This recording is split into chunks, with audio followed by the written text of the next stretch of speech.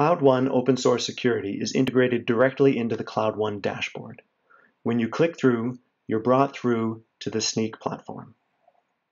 For new accounts, the first thing you do is set up an integration to give access to your source code. In my account, I've got a GitHub integration, but it's extremely easy, and I'll show you, extremely easy to connect repositories to be monitored. Just by selecting them and adding them, you immediately start to get feedback on any detected security issues, including trends over time, as well as the exposure window to understand how quickly you're closing vulnerabilities as they're detected.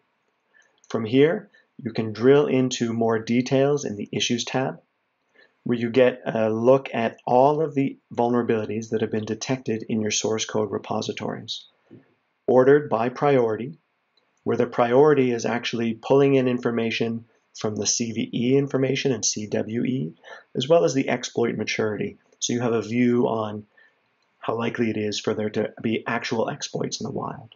From here, you can drill into the projects to get more of a developer view I'm going to look at one of my Node.js projects.